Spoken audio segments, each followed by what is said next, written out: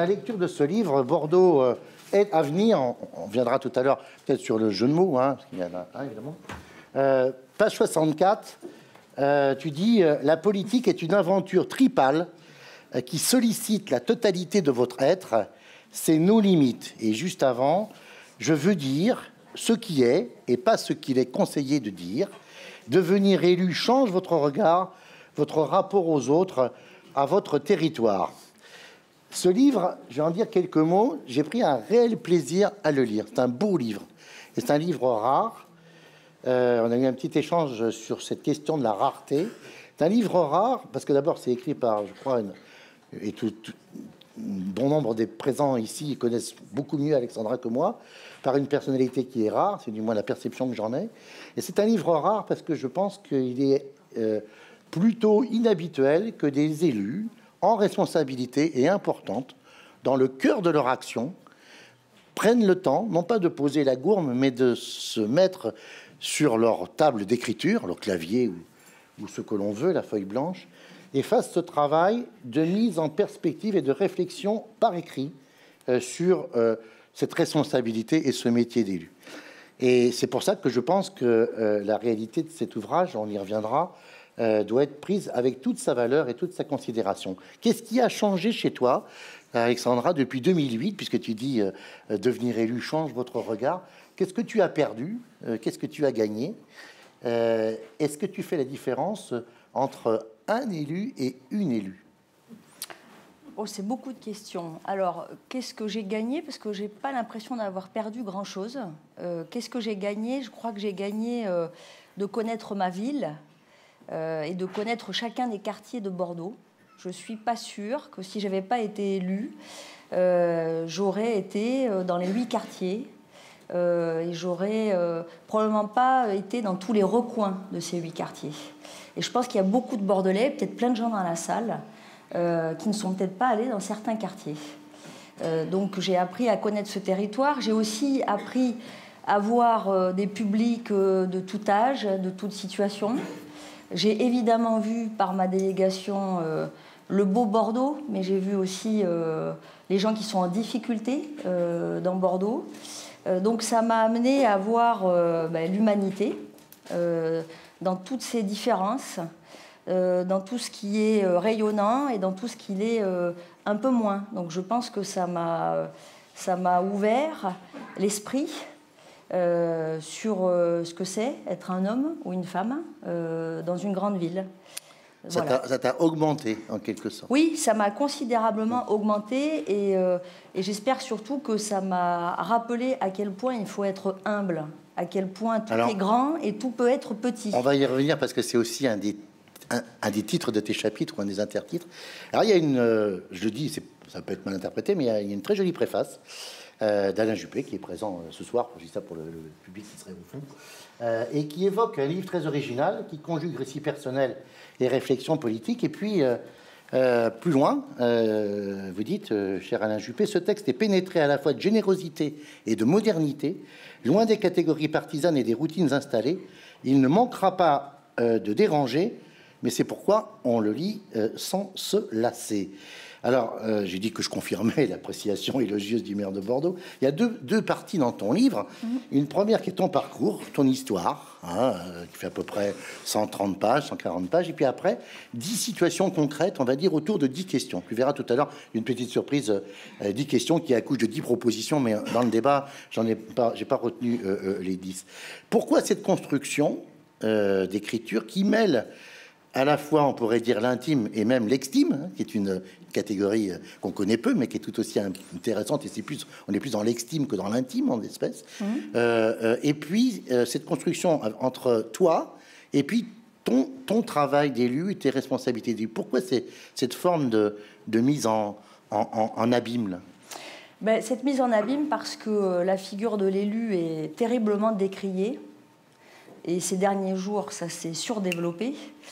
Euh, on est malmené. Euh, les gens considèrent qu'on est très souvent euh, impuissant ou incapable de résoudre leurs difficultés, incapable parfois même de les comprendre. ont quand même une espèce d'impression que on serait élu pour les avantages que ça nous procurerait.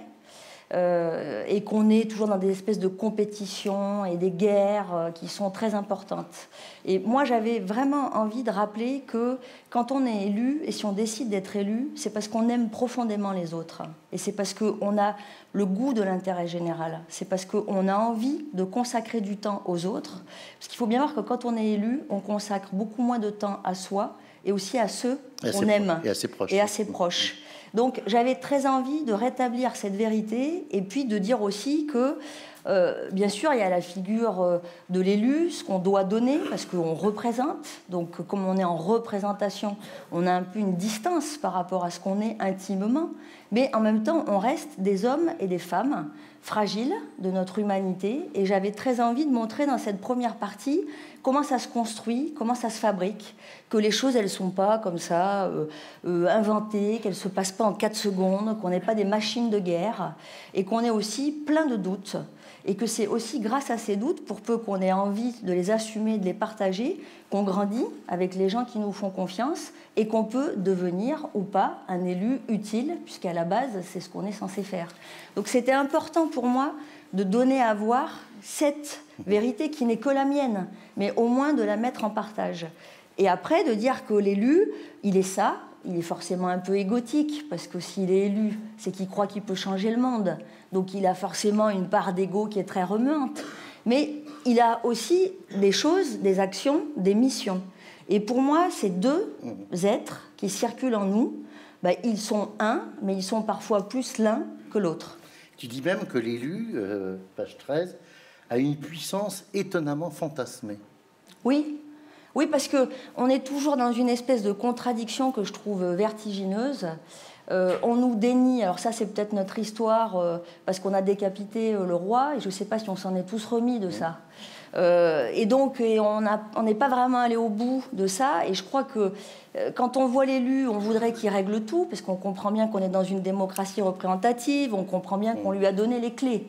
Donc on attend de lui. Marc Bloch, les rois thaumaturges, bah oui, donc, les écrouelles. On attend de lui ça, et parfois même on attend un peu de lui de l'arbitraire, presque un peu de, presque un peu de violence dans les décisions qu'il pourrait prendre.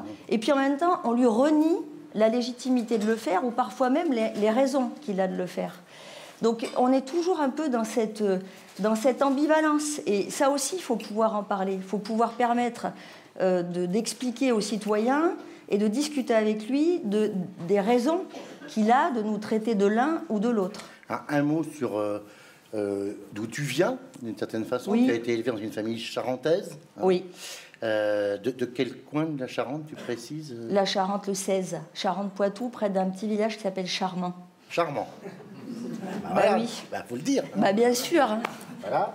Euh, et, c'est une famille, je ne sais pas, ce ne sont pas des drôles de paroissiens, mais ils, sont quand même, ils sont, ils sont plutôt élus quand même. Enfin, il y, a des élus dans la famille. Ah bah ils sont, ils sont beaucoup, presque tous euh, élus, euh, presque tous non encartés. Dans ils, sont, ils, sont, ils, sont, plus élus du peuple que peuple élu. Hein. Oh, c'est ça. Et, et, moi, j'ai été élevée dans une, j'ai été élevée dans une famille où le fait de se consacrer à l'autre est une évidence. Comme une, où, euh, sorte de sacerdoce laïque. Euh, oui, sacerdoce, je ne sais pas, parce que ça voudrait dire que c'est dangereux ou que c'est compliqué. Non, ça Alors que, dangereux. Oui, enfin, certains pourraient l'assimiler comme ça. Moi, je crois surtout que j'ai été élevée avec euh, des oncles, des tantes, des grands-parents, des parents, évidemment, qui m'ont exprimé très petite euh, la valeur ajoutée d'être en discussion avec les autres et que on, grandit d'être dans la diversité et que c'est bien aussi de se confronter euh, aux autres et que c'est même ce qui fait que qu'on grandit. Alors ce sont des élus locaux évidemment. Oui. Euh, fait partie de ces 500 000 élus locaux, français, hein, petites communes, oui. Considérable. Ça peut aller jusqu'à la fonction de maire ou, pas? Non. Non. Non.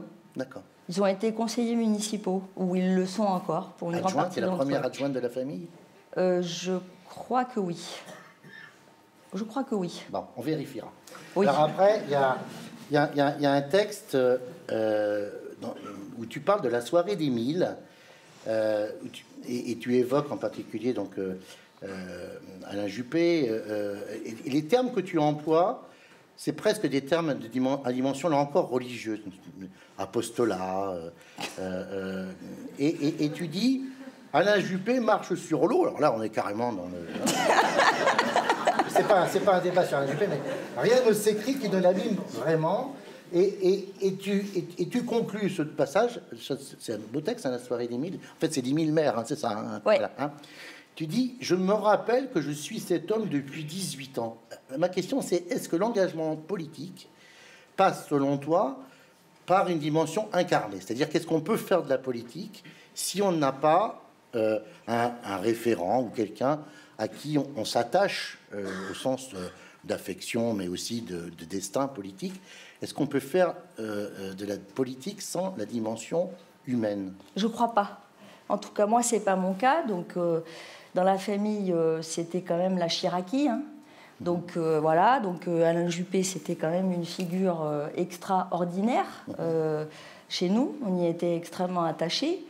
Euh, et donc euh, oui, j'ai eu la chance et j'ai encore le bonheur de pouvoir travailler avec lui depuis 18 ans. Et bien sûr que c'est, euh, pour moi, c'est une figure qui est capitale. Et donc je pense que, surtout, je crois qu'on ne peut pas vraiment faire de politique sans être, sans vivre une loyauté totale. Mhm. Voilà. Je crois qu'il faut toujours se souvenir d'où on vient, pourquoi on est là, tout en gardant de la distance, parce qu'il faut aussi être libre et il faut aussi être soi. Mais je crois qu'il faut jamais se souvenir, jamais oublier d'où on vient. Et donc, euh, euh, la figure de l'élu qui vous a fait confiance, euh, qui, vous a mis, qui vous a mis en situation de prouver qu'il avait raison, je crois que c'est quelque chose de solide et qui fait qu'on avance. Mais comme dans ses relations familiales, comme dans ses relations amicales, la loyauté, c'est quand même quelque chose qui, pour moi, est une valeur centrale de la politique. Est-ce qu'il n'y a pas un, risque Et on ne rigole pas. Sans faire de la, sans faire de la, de la, de la psychanalyse de comptoir, est-ce qu'il n'y a pas un risque quand on est, par exemple, dans l'engagement politique, euh, qui serait une forme d'aliénation? C'est-à-dire que finalement, on, appartiendrait à, l'autre qui serait, qui serait l'élu euh, référent euh? Alors j'ai beaucoup lutté contre ça. Évidemment, parce que c'est compliqué quand on commence à faire de la politique et qu'on a 26 ans et qu'on travaille aux côtés d'un homme qui est ancien Premier ministre de la France. Donc évidemment que le risque de la fascination, il est très présent. Euh, alors heureusement, j'ai la chance, moi, d'être entourée de gens euh, euh, qui m'aiment pour ce que je suis et pas parce que je travaillerai avec Alain Juppé, donc qui m'aident à être en distance. Et puis la vie, quotidien, euh, mon job m'a permis d'avoir cette distance. Et je pense que quand on a un Pygmalion, on apprend beaucoup, je le dis aussi, mhm. euh, de mes limites, de ses limites, des siennes. Et puis, euh, ce qui est chouette, c'est l'affiliation et puis l'émancipation aussi. Je pense qu'Alain Juppé, il n'a pas forcément envie d'avoir des gens qui sont que des bénis oui-oui. Il a envie aussi d'avoir des gens qui ont un peu de distance par rapport à lui, même si parfois ça frotte. Et quand tu dis, quand tu dis n'oublie pas d'où tu viens, oui. C'est une injonction que tu t'appliques à toi-même. Oui, c'est quelque chose que. C'est un peu pour te protéger. Oui, j'essaye de me.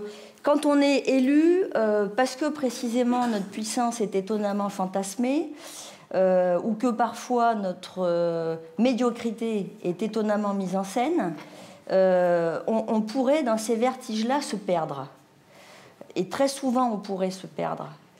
Euh, donc je crois que c'est vraiment important de se souvenir toujours d'où on vient.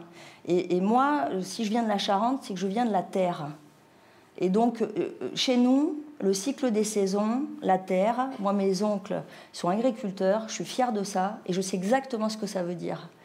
Euh, la nature, euh, euh, comment les choses elles poussent, qu'elles nourrissent les hommes, voilà. Et donc j'ai pas envie de me perdre, j'ai pas envie de perdre ça parce que ça c'est mon métronome.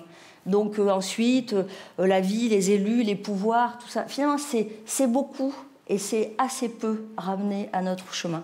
Finalement, il y a ces très beaux ces, ces, phrases de, chantées par Jean Ferrat, nul ne guérit de son enfance. Bah oui. Toi, t'as pas envie de guérir de ton enfance. Non, parce que moi, j'ai eu la chance que ma, ma, vie soit merveilleuse et mon enfance, et que si elle ne l'avait pas été, d'ailleurs, j'aurais peut-être pas eu envie de consacrer du temps à d'autres personnes que moi.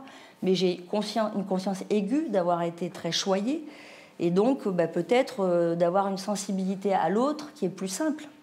Dans le livre, il y a tout un côté euh, témoignage qui est presque un carnet de campagne, hein, un journal de campagne. Oui. tu enchaînes les campagnes à un rythme qui est euh, effréné. Enfin, Bah, bon, comme tous euh, les élus, je crois. Ah bah non, mais là quand même, tu, tu- tu- tu en rajoutes 2008, euh, 2010 euh, euh, à, titre de candidature, hein, 2014 euh, euh, pour, les, pour les municipales, 2015, euh, bah, c'était moins exposé, mais enfin, 2000 oui, fin 2015 pour les régionales à nouveau, où tu recommences. Euh, et alors il y a quelque chose qui m'a frappé, je crois un petit peu connaître vaguement la, la, la vie politique locale pour beaucoup, mais bon, euh, euh, tu dis euh, Alain Juppé, page 42, était le chef d'orchestre, du moins fallait-il le dire et le croire. En réalité, le directeur de campagne était le maître du jeu et la tête de liste son soliste. C'est quand même étrange comme formule, ça. Bah, L'impression que j'ai eue en faisant, en tout cas, la première campagne, et après toutes les campagnes, c'est qu'on est quand même une famille, Oui. une famille de musiciens quand même, hein, parce que on va apporter la bonne parole, et puis on donne notre programme, et puis euh, on dit euh, les choses. Alors on a un chef, celui qui porte, et puis d'ailleurs c'est celui qui est élu, parce que la plupart des élus ne sont pas connus. hein. Euh, ça nous fait un peu mal au cœur, mais c'est quand même la réalité. On vote pour Alain Juppé, puis les autres derrière. Quoi. Bon. dans Voilà, puis après, il y a le directeur de campagne qui distribue un peu les rôles et puis qui dit vous allez faire ça, ça, ça. Mais en réalité, tout se construit autour du soliste. Et puis les autres, euh, ils portent, mais ils sont une masse. Moi, je pensais que le soliste, en l'occurrence, c'était plutôt le compositeur, quand même. Euh, non. Le soliste, c'est celui qui, euh, que les gens regardent. C'est celui qui, à un moment, euh, permet que l'orchestre soit bien entendu. On a l'impression, un peu dès le début de ton texte, que tu commences à être assez rapidement, non pas désabusé, mais décilé. C'est-à-dire que quelque part, tes yeux s'ouvrent. hein. Oui. Tu dis, cette fraîcheur ne durerait qu'un temps. Une fois élue, je la perdrai inéluctablement. C'est c'est- le cas? Tu, tu... Bah, j'ai perdu une certaine fraîcheur. Bon, j'en ai encore beaucoup. hein. Euh, si j'en crois mes collègues, euh, j'ai un petit peu encore de- des moments où je suis un peu à côté du truc. Mais Un peu, un peu, euh, un peu nunuche. non, mais disons que moi j'ai une foi euh, illimitée euh, en l'homme. hein. Oui, ça, c'est un de nos voilà. débats. Bon, donc euh, voilà. débats, donc oui. moi j'y crois euh, et tout le temps en fait Ah oui. en permanence. Euh, non, là où je, je- je me suis rendu compte que peut-être, euh, je le dis aussi, je, quand on est élu, euh, on est un peu seul quand même, parce qu'on a, il faut se construire euh, aussi avec euh, ses missions. Il faut apprendre seul. Donc même si on est avec l'administration, même si on est avec des collègues, il y a beaucoup de choses à faire seul. Donc c'est vrai que, que tu décris de, des premières des premiers contacts, Oui. euh, en particulier les organismes où tu vas représenter Oui. la ville, tu es en charge de la bioénergie. euh, Oui. enfin, voilà, bon. les cohabitats, ça c'est pas Oui, mal. voilà, bon, les cohabitats. Et puis, tu te rends compte que, par exemple, tu, tu sièges même pas à la régie du gaz. Oui. Donc, tu penses que c'est une erreur. Tu vas dire, bon, là, j'ai dû être oublié. Et, et là, tu as des mots, tu dis, euh, on me regarde vaguement, non seulement méchamment, mais enfin, on dit, mais pour qui est se prendre, etc. Ouais. C'était pas une erreur. C'était. Et, et, et, et là, c'est. Enfin, il faut, il faut nager dans le grand bain tout de suite, quoi. Ben oui, il faut nager dans le grand bain parce que quand on est élu, on est avec l'administration. Or, l'administration, En, vis-à-vis, tu veux dire. en vis-à-vis, c'est-à-dire l'administration, elle, elle a l'obligation de continuer le service public. Donc que ce soit Monsieur X ou Madame Y qui est élu, elle a son job à faire. Elle a forcément une très bonne connaissance de la vie municipale, des organisations, d'autant que dans une liste, il y a ceux qui sont là depuis longtemps, il y a ceux qui viennent d'arriver. Euh, donc euh, il y a un directeur général euh, qui généralement connaît très très bien la maison et qui va commencer à, réfléchir un peu à qui serait le mieux à tel et tel endroit, mais avec son expérience, avec son background. Alors évidemment, il soumet tout ça au maire qui décide in fine. Mais quand on arrive et qu'on est un bleu, ben, on regarde son truc et puis on arrive au conseil, puis on dit ah tiens là je suis là, je suis là, je suis là, je suis là, mais sans forcément savoir ce que ça veut dire et sans vraiment savoir pourquoi on a été placé là ou là. Donc c'est vrai que euh, on peut le prendre comme c'est, ou on peut, parce que moi je, je, fonctionne un peu comme ça, moi j'ai eu envie de dire, mais attendez, là, euh, l'histoire n'est pas logique. Et en fait c'est un peu tout le temps ça, c'est-à-dire qu'avec l'administration, euh, pour laquelle j'ai le plus grand respect, et d'ailleurs j'en parle beaucoup, euh, et je suis fonctionnaire. de la fonction publique Et territoriale. puis même, je crois qu'il faut être fier de notre fonction publique. Je pense que c'est très important d'avoir conscience que sans l'administration, sans les fonctions publiques, sans fonction publique, il n'y a pas de service. et que donc ces gens-là participent de cet intérêt général.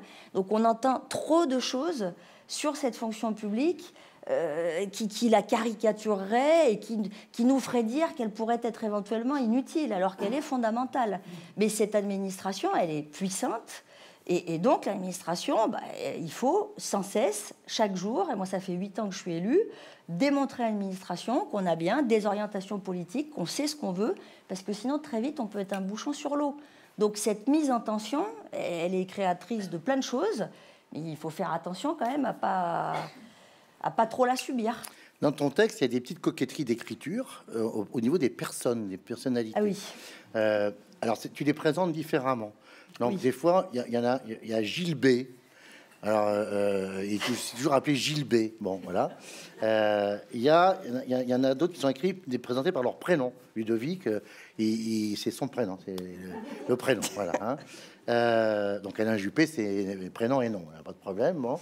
On, découvre même qu'il y a un adjoint qui s'appelle Didier, je ne sais pas qui c'est, euh, élu depuis quatre mandats, qui, qui demande qui tu es parce que euh, il est sur la liste des régionales, il voudrait savoir. D, D, euh, Didier. Hein non, D. Hein, D, ah, D. Ah, bah, c'est moi qui ai traduit par Didier alors. D'accord, je vais aller plus loin. et donc, tous, tous, ces personnages-là, tous ces personnages que tu vas rencontrer quotidiennement, parce que c'est, comme on dit, tu parlais de nos limites, c'est un full-time job. Hein. Euh, est-ce que dans cet exercice solitaire, mais qui se joue en équipe, en quelque sorte, mhm. euh, est-ce que euh, l'amitié, la, fraternité peut exister? Alors, petit temps de... Oui, oui, oui. bien sûr. tu peux très bien dire Joker. Hein. non, non, mais bien sûr qu'elle existe. Bien sûr qu'elle existe parce que là, c'est pareil. Euh, on raconte, et nous-mêmes, on se raconte beaucoup de choses. C'est-à-dire que, euh, bien sûr qu'il y a une mise en concurrence, bien sûr qu'il y a de la tension, parce qu'il y a de la pression. Euh, et que, bon, on se retrouve tout d'un coup dans une liste, on ne se connaissait pas avant. et on a beaucoup de pression et on ne s'est pas choisi quand même. Donc c'est quand même pas évident de se retrouver dans le même bateau et puis de s'apprécier, puisqu'on ne se connaît que très peu. Euh, voilà, donc c'est euh, c'est difficile. Alors, moi, j'ai la chance d'avoir quelques amis, et en plus, ils sont là au premier rang. et ceux-là, ce sont des vrais amis, donc la fraternité est possible. ensuite, il y a des moments qui sont difficiles, délicats et parfois même douloureux entre nous. Voilà. Alors, il y a des choses qui sont difficiles. Au-delà d'entre nous, il y a un passage qui est très fort. tu racontes mais avec beaucoup de pudeur en même temps, ta première euh, signature d'un papier d'hospitalisation d'office. Oui. Hein. Euh, les faits, c'est une, dame qui a, qui a menacé de balancer du haut du premier étage de la mezzanine de la gare Saint-Jean, si je me souviens bien, mm. son petit bébé de 5 mois, euh, mm. et puis qu'un autre enfant qui a assisté à la scène. Bon. et tu es littéralement effondré à 3h45 du matin quand on te demande de, de signer le papier. Et, le lendemain, en tu t'en ouvres à, à, tes, à, tes, collègues, quoi, et on te dit c'est le métier qui rentre. Et oui. Et oui, parce que euh, quand on commence comme ça, quand on découvre le métier euh, d'élu, on est confronté à des décisions qui sont des décisions euh, très fortes et très radicales. Alors il y a des il y a des moments qui sont des moments de grande émotion positive quand on fait des mariages même si c'est quand même pas rien de faire des mariages. Hein. C'est pas rien de se retrouver devant toute une famille, euh, avec un homme et une femme qui, se disent. Avec deux hommes, avec deux femmes. Ou deux hommes, ou deux femmes, bien sûr. Et, donc il y a des moments comme ça qui sont très forts et pour lesquels on peut vous donner toutes les notes du monde. Ça ne, ça n'enlève pas la rencontre quand même et le fait qu'on se retrouve dans une place euh, qui est capitale. Et alors évidemment pour une hospitalisation d'office, euh, on est dans les choses qui sont les plus euh, difficiles et les plus douloureuses, parce qu'on nous demande de signer quelque chose, mais une hospitalisation d'office, la folie, euh, c'est quand même quelque chose de grave. Alors en plus, moi, ça me renvoyait au fait que j'étais maman de trois petits, et qu'on me demandait à 3h45 de signer l'hospitalisation d'une maman avec ses deux petits. Et puis, mon parcours politique m'amène aussi à savoir que les choses, elles ne sont pas si simples que ça. C'est-à-dire que cette maman, peut-être qu'elle a eu ce moment-là de folie totale, mais ça l'empêche probablement pas, ou ça l'a peut-être probablement pas empêché d'être une maman magnifique. Mais il y a eu ça, cette mise en abîme. Et ça, c'est vrai qu'il n'y a pas d'explication. Donc on signe, puis les gens, ils ont l'habitude. Donc euh, les collègues qui font ça depuis je ne sais pas combien de temps, bah, ils sont passés par la même étape que moi. Euh, et puis ils savent que c'est comme ça. C'est une forme d'initiation. Oui, bien sûr. quand, on, y, quand on y une. Quand on y réfléchit, quand on met ça en perspective, parce que tu n'es pas la première élue euh, qui me parle de, de, ces responsabilités qui sont quand même euh, très lourde. Et encore là, on parle de collectivité territoriale. Il ne s'agit pas d'engager, par exemple, la souveraineté du pays, etc. Bon, euh, on, peut, on peut être quand même que frappé par euh, parfois l'absence de préparation de, à cet exercice-là. C'est-à-dire que ça ne s'apprend pas, il n'y a pas d'école pour ça. c'est pratiquement le, c'est très empirique. Quoi. On, on, apprend en marchant. Oui. Donc on peut se planter, quoi, vraiment. Ah ben euh, c'est pas on peut se planter, c'est que on, se, plante. On se plante euh, régulièrement et c'est précisément parce qu'on se plante aussi qu'à un moment on arrive euh, à progresser. Mais c'est aussi un petit peu ce que j'évoque dans la deuxième partie, mais peut-être que je vais prendre un peu d'avance. ça, c'est la question fondamentale, à mon avis, et cruciale de quels élus on veut. Est-ce qu'on veut des élus experts? Et auquel cas, quelle formation on leur donne? Euh, et on a répondu pour partie, consciemment ou inconsciemment, puisque beaucoup d'élus sont fonctionnaires. Mmh. Voilà, donc ça veut dire que... Pour des raisons qui ne tiennent pas seulement à leurs compétences. Oui, mais je veux dire, ils, connaissent déjà euh, beaucoup euh, ce genre de décisions. Bon, est-ce qu'on veut des élus euh, experts qui seront armés pour prendre des décisions? Parce que tout de suite ils vont comprendre très bien comment marche l'administration et que très très vite ils vont être opérationnels Ou est-ce qu'on a envie d'avoir ce qu'on entend en permanence, le commun des mortels, toutes les professions euh, y compris des gens qui, le tirage au sort, voilà, qui seraient pas en sécurité en plus dans leur vie, c'est-à-dire qui n'auraient pas un bon niveau de salaire, euh, qui se poseraient des milliards de questions, qui n'auraient peut-être pas forcément un niveau d'études euh, extraordinaire. Est-ce qu'on veut les uns ou est-ce qu'on veut les autres? Parce que souvent le citoyen là aussi il est très contradictoire. Il aimerait des élus qui maîtrisent tout. qui savent tout expliquer, qui savent répondre à n'importe quoi, dans n'importe quelle situation, avec une explication de texte quand même bien épaisse, et puis, il voudrait aussi que bah, ce soit, euh, euh, il voudrait que ces élus-là soient pas déconnectés, euh, mais soient comme eux. Ben oui, mais non, c'est c'est pas si simple que ça. Ou alors, il faut vraiment travailler au statut de l'élu, il faut vraiment l'accompagner dans une formation, et il faut aussi admettre qu'à un moment, peut-être, pour prendre des décisions, ça peut éventuellement être chaotique, il peut éventuellement se tromper, mais il faut lui donner aussi la possibilité de, de, de, l'apprendre, ce métier qui n'en est pas un.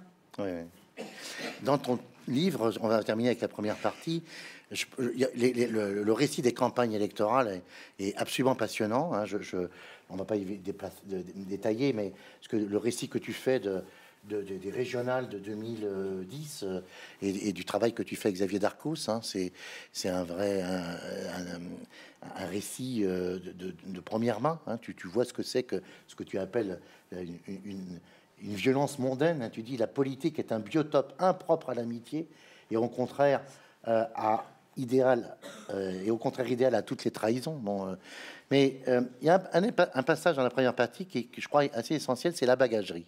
Parce que là, ça a été pour toi, en quelque sorte, euh, c'est pas ton, ni ton ni ton chemin des dames, ni ton, ni, euh, ni, ta, la, prise de, d'une colline insaisissable, mais tu as expérimenté physiquement la violence physique à cette occasion-là. Hein, mhm. c'est, fort.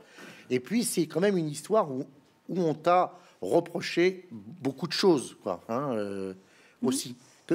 tu peux raconter un peu, enfin, rappeler quand même euh, ce qui s'est passé. Oui, alors euh, déjà, je, vais peut-être aussi dire en préalable que moi, si je me suis aussi engagée en politique, c'est parce que les gens qui sont dans des situations de grande détresse, je considère quand même que ce n'est pas normal.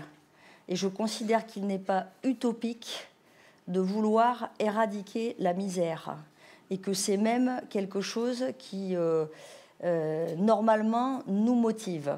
Voilà. Donc moi, il était très important pour moi dans mon engagement politique, et s'il n'avait pas été politique, il aurait été associatif, de regarder ces différentes formes de misère ou de vulnérabilité pour comprendre pourquoi le système ne marche pas et pour essayer de voir comment il pourrait mieux marcher. Alors on y reviendra dans un parti parce que c'est ce que la marginalité dit de nous aussi. Voilà, voilà. Ah. Donc euh, la bagagerie, ben, c'était euh, l'ouverture euh, d'un lieu et en fait il y avait deux choses qui ouvraient dans la ville quasiment en même temps. un endroit où les gens sans domicile fixe peuvent se doucher, laisser leurs affaires, laisser leurs bagages, boire un café et puis discuter. et puis un autre endroit pour des jeunes punk à chiens ayant des petits problèmes d'addiction. Mmh. Et donc, euh, quand on ouvre euh, ces lieux, alors maintenant c'est moins le cas, euh, puisque Alain Juppé nous a demandé d'ouvrir le plus de lieux possible dans chaque quartier, justement pour acculturer la population. Mmh. à l'existence de ces lieux. Et puis pour démontrer aussi que tout ça peut bien se passer. Mmh. Euh, donc on a ouvert ces deux lieux et quand on les a ouverts, euh, il y a eu des pétitions, il y a eu des mails. C'est quasiment immédiat. Hein. Non mais immédiat, mais pourquoi vous ouvrez ces lieux? Puis c'est toujours les mêmes histoires. C'est euh, les gens vont nous donner des maladies, les gens vont attaquer nos enfants, prenez-les, mettez-les à l'extérieur de la ville. et que font ces étrangers ici? C'est tout de suite très très très fort et très très très grave. D'ailleurs, une grande partie des gens qui vont très loin sont ensuite ceux qui, dans les lieux qui sont ouverts et dans lesquels ça se passe très bien, viennent faire le repas. Ah viennent se soucier de ces mêmes publics, parce qu'ils savent bien qu'ils sont allés trop loin, donc ensuite ils reviennent. Et donc on a ouvert la bagagerie, les choses étaient très violentes, et on ouvre le deuxième lieu, euh, et on décide, on se dit, bon là, ce qu'on va faire, c'est qu'on va aller faire du porte-à-porte, et puis on va dire aux gens, voilà, ce lieu est ouvert, ne vous inquiétez pas, ça va bien se passer. Et ça se passe pas bien. Et en fait, on est pris par la foule. Mhm. Et, la foule se met autour de nous. Et, plus ça va, plus cette foule se rapproche de nous en hurlant. Et donc j'ai vu ce qu'était une foule qui, qui, euh, qui, euh, qui, est au bout, en fait. Et je suis tombée. Mmh. Et en tombant, mon sac s'est ouvert. Et je crois qu'il y a deux ou trois personnes qui ont eu très peur de ça et qui se sont dit, oh là là, mais là, on est en train de passer le cap. Et on s'est retrouvés avec l'autre élu, c'est Alain Monga. Oui, j'ai compris. La grosse carrure, quand même. 90. Hein, Dans la voiture, très choqué. Donc c'est vrai que j'ai vu euh, à quel point, euh, parfois, une foule en colère euh, peut pousser sa peur et son angoisse jusqu'à l'agression physique, finalement. alors, on, aborde. Après, on va donner la parole dans 5-10 minutes à, la salle, évidemment. Dans ta deuxième partie, j'aurais j'abrège hein, sur d'autres questions que j'avais prévu de te, poser, en particulier euh, euh, dans, la relation, euh, le vécu que tu as de la, campagne des primaires et puis évidemment le, le, retour à, Bordeaux de d'Alain Juppé. Mais ça, c'est dans le livre et c'est très, très bien dit, avec beaucoup de pudeur. Je n'étais pas parti. je suis interrompu tout d'un coup dans mon, débat. Non, mais c'est pour moi qu'on peut le mot retour. Hein. Donc, euh, euh, il y a dix grandes questions, dix grandes questions dans ta, dans ta deuxième partie. Je vais, je vais les, les, si tu permets, les lire, parce que je crois que c'est très important pour avoir l'esprit du livre. on va mettre, c'est subjectif, hein, le focus sur trois d'entre elles qui m'ont paru pas plus intéressantes que les autres, mais... Euh, mais tu les as choisies. mais je les ai choisies, Arbitrairement. Exactement. donc, qui a le pouvoir d'agir? Comment modernisons-nous l'action publique? Pourquoi en deux mots, et pour qui entreprendre autrement Pourquoi la sobriété doit-elle être une ambition collective Comment nous préparons-nous aux défis démographiques Comment accompagnons-nous les générations futures vers leur avenir Qui transmet quoi Quelles sont les nouvelles frontières du temps Comment vivre en sécurité Et qu'est-ce que révèle la marge? C'est des questions qui sont vraiment des questions, euh, je crois, authentiquement politiques, hein, euh, au sens où elles elle, porte euh, à la fois sur euh, les politiques publiques susceptibles d'être engagées, mais aussi euh, sur un projet, quoi, réellement. Mmh.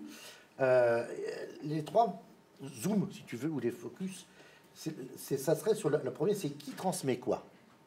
Et là, tu dis Bordeaux, capitale de la Nouvelle-Aquitaine, a plus que jamais un rôle décisif à jouer sur la façon de transmettre les savoirs et d'en préserver le sens et les finalités culture et éducation, vecteurs essentiels de la transmission, permettent la cohésion. Elles sont la clé de l'identité heureuse chère Alain Juppé. La révolution numérique les bouleverse dans leur modalité d'expression, ce qui renforce d'autant leur finalité. Et là, je, m'adresse à toi, petite charentaise, qui nous a rejoint dans tes origines, dans, la Nouvelle-Aquitaine, euh, on a le sentiment que Bordeaux, l'agglomération de Bordeaux, fonctionne un peu comme un vortex hein, mmh. qui euh, absorbe pratiquement tout ce qui est dans une périphérie plus ou moins éloignée. Puis au-delà de la, grande couronne, qui peut aller par exemple jusqu'à Angoulême, évidemment, Libourne, etc., euh, la question que je voulais te poser, c'est à propos de la transmission. Quand on est un lycéen à, à, Bellac, à Civray, euh, à Confolent, euh, à Guéret ou à Chérotte, si on est au sud, ou à Nontron, qu'est-ce qu'on peut espérer de Bordeaux? Ah D'abord, si tu Et de la vie en général. Hein. Oui, si tu peux, me, si tu m'autorises un peu quand même sur quelques éléments sur ce passage-là, parce que je pense qu'il est vraiment central et que les dernières actualités le rendent encore plus central. Je crois vraiment. Quoi les dernières actualités? Les actualités de politique nationale. Ah, d'accord. Euh, et internationale. Je crois vraiment qu'à Bordeaux, on a une chance inouïe et qu'il faut avoir bien conscience de ça. Euh, Bordeaux est une ville belle, évidemment, et attractive. Elle n'est pas seulement belle architecturalement. Elle est belle parce que euh, nous y vivons de manière apaisée, et dans le dialogue. Alors, le souffle des Girondins, Montesquieu, Montaigne, euh, la nouvelle société, euh, tout ce que tout ce qu'a développé Alain Juppé depuis 1995, c'est constitutif d'un ADN exceptionnel. J'ai la chance de pouvoir siéger dans un certain nombre de structures nationales et Bordeaux se singularise par cette histoire-là du dialogue et de notre capacité à aborder des sujets complexes en discutant. Voilà. On a aussi une vie associative très importante, avec un nombre d'associations plus important à Bordeaux euh, qu'ailleurs. Et dans, tous les, dans tous les domaines. Dans tous les domaines. Et il y a beaucoup de sociétés, de gens qui discutent, mhm. qui réfléchissent. Voilà. Donc je pense que Bordeaux a vraiment, euh, puisqu'elle est attractive et puisqu'on fait venir tant de touristes et tant de gens, qui viennent y passer ou qui viennent y vivre, je crois qu'on a une responsabilité de partager avec eux cet héritage, mhm. ce, long héritage. Euh, parce que Montesquieu et Montaigne, tout le monde ne les connaît pas, mais quand même, ce qu'ils ont porté comme valeur, c'est capital qu'on en soit fier, qu'on en soit conscient et, et, qu'on le, le, fasse briller davantage euh, encore. Voilà. Ça, pour moi, c'est important. D'autre part, comme justement nous sommes dans une forme de paisibilité, grâce à ça, grâce à cette qualité du dialogue, je crois qu'on est plus en capacité que d'autres d'aborder la révolution des savoirs. Et on est résolument dans une société de connaissances où tout est collaboratif. On parle de collaboratif dans tout. Alors évidemment, c'est violent parce que tout est collaboratif, mais nous, nos organisations, elles sont très verticales et surtout le pouvoir. Mais quand même, on est dans une révolution inouïe. Et les générations Y et Z, elles, elles ont complètement compris ça. Donc je crois que Bordeaux, parce que nous sommes dans cette paisibilité, dans cette qualité de dialogue, dans cette singularité, on doit pouvoir affronter mieux que les autres cette nouvelle manière euh, d'envisager cette société euh, de connaissances et de l'appréhender. Donc pour répondre à ta question, je crois que tout ce qu'on peut faire euh, à Bordeaux sera évidemment un laboratoire qui pourra profiter à beaucoup d'autres organisations. Aux, marges, aux marges et aux marches. Oui, aux marges et aux marches, mais je veux dire, tout ce qu'on saura démontrer euh, chez nous pourra être répliqué à l'envie ailleurs. Et je crois que dans l'école, euh, on, développe avec Emmanuel Cuny le principe des écoles ouvertes. Ouvrir l'école, le bâtiment, euh, à, toute forme de connaissance, et puis résolument rentrer dans quelque chose qui, va tout bouleverser, le, le système des pairs à pairs ça veut dire considérer que n'importe quel citoyen peut apprendre des choses et peut apprendre à d'autres que lui des choses et que le savoir n'est pas forcément que dans cette euh, verticalité. Donc je, crois vraiment que nous, on a, on a, on a des choses à, continuer à développer autour de ça. Deuxième point, c'est pourquoi la sobriété doit-elle être une ambition collective? Euh, Et là, tu dis, cette sobriété s'apprend, elle s'éduque, par la volonté, mais aussi par la contrainte. Oui. Cette dernière, pour être acceptée, doit être expliquée, euh, pas uniquement par rapport à l'obligation qu'elle sanctionne, mais plutôt par rapport au risque qu'elle évite. Évidemment, tu évoques euh, Pierre Rabhi. Euh, quand on dit, si on te dit cette problématique de la décroissance heureuse mm. ou de la sobriété heureuse, etc., c'est un luxe de riche.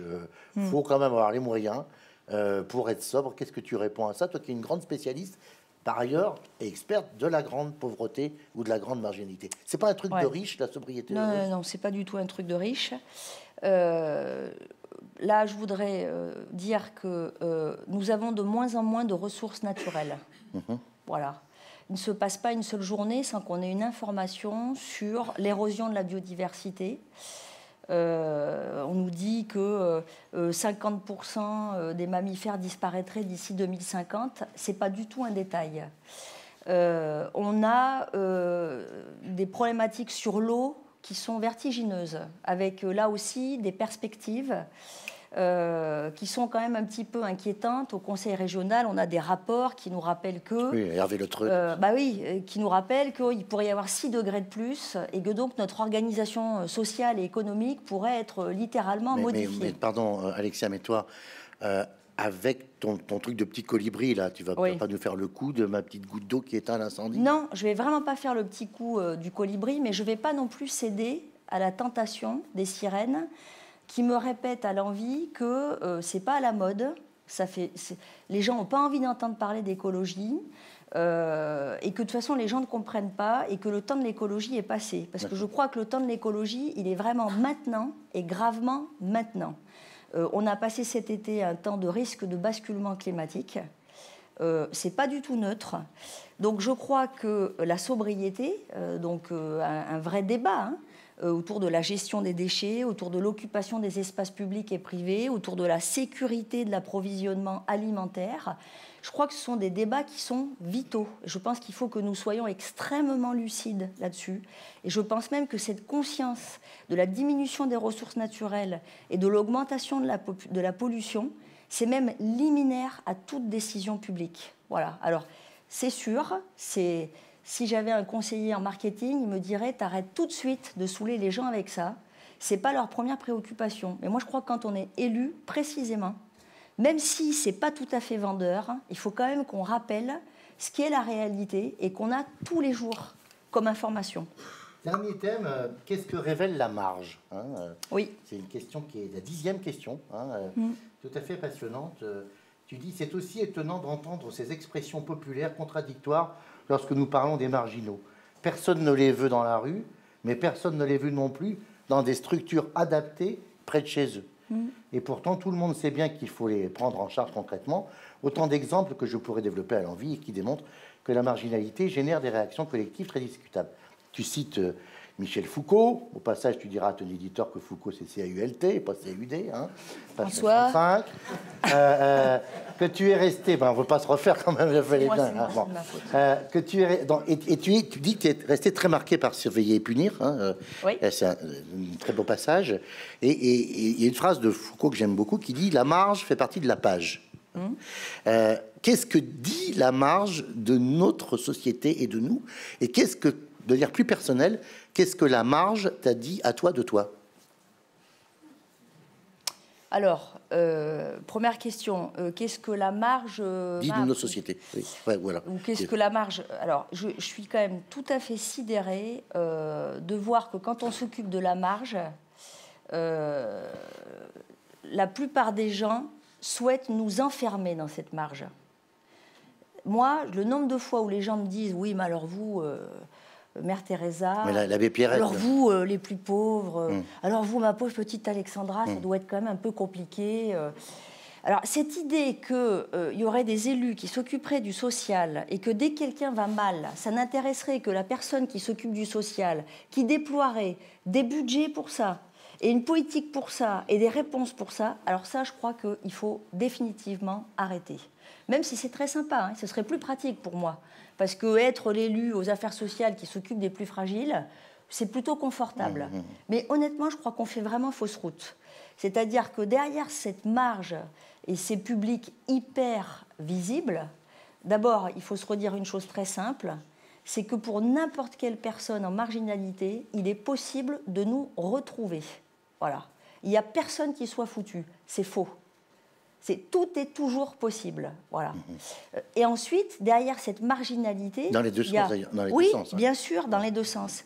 Et dans cette, marginal- cette marginalité cache surtout les vulnérabilités. C'est-à-dire qu'il y a quand même beaucoup de gens qui, sans être des marginaux, soit, sont soit dans une précarité financière, identitaire, relationnelle, sont dans cette vulnérabilité. Pourquoi? Parce qu'ils ne trouvent pas leur place dans notre société. Pourquoi? Parce que le système n'écoute pas ces gens-là ou considère que ça fait partie ben, de la règle du jeu et de la loi du talion. Mais je crois que là, on est arrivé à un moment où les gens sont tellement surpris, sont tellement déçus du système. Ils ont tellement tendance à confondre euh, les conneries de tel ou tel élu avec le système qu'ils ont envie de jeter qu'il faut vraiment qu'on entende cette marge et cette vulnérabilité. Il faut vraiment qu'on se dise, mais comment ça se fait que ça dysfonctionne à ce point-là? Et puisqu'on est dans un basculement vers quelque chose de tout à fait nouveau, ben c'est le moment ou jamais de regarder ça les yeux grands ouverts et certainement pas que Mère Teresa. Ben voilà, euh, merci beaucoup. Je pense qu'on peut vraiment applaudir.